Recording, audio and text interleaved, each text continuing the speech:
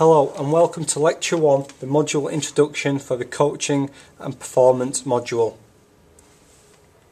To accompany this lecture, you will need the two handouts that I have previously emailed you.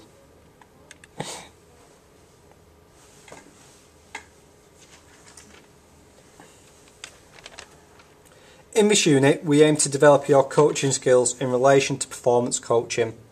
Think back to last year when you were studying the sports coaching module.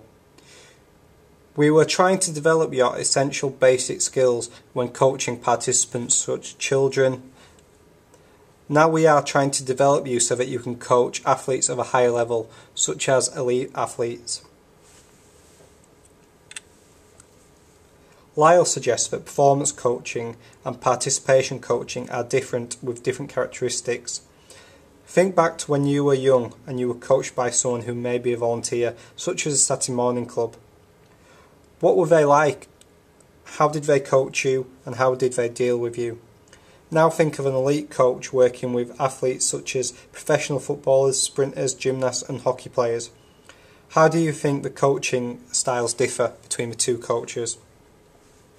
Now please pause the video and read the handout provided.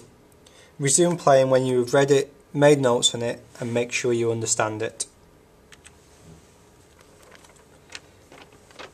Figure 3.5 illustrates the increase in intensity, competition and standards when working with more elite athletes compared to recreational participants.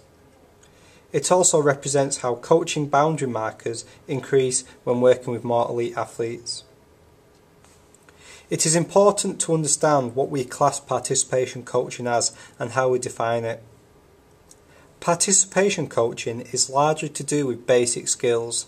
For example, between ages of 6 and 12, a boy may attend a Saturday morning football club where they just do fun games and activities from the coach.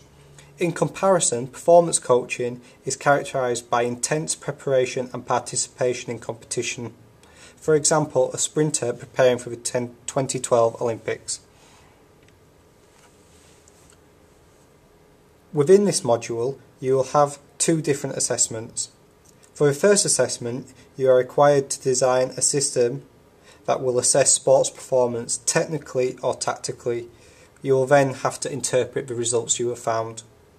For the second assessment, which is worth 60%, you are required to implement a physiological and psychological training program. As you can see, the suggested reading list is quite large and you will be required to use these texts quite a lot.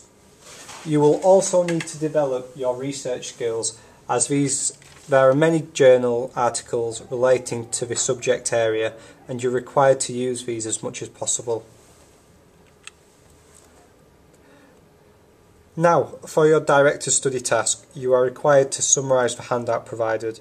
I want you to draw your own conclusions from it if possible. Remember, this is an ac academic piece of work, therefore grammar, punctuation and referencing should be up to standard. Please email me with any questions.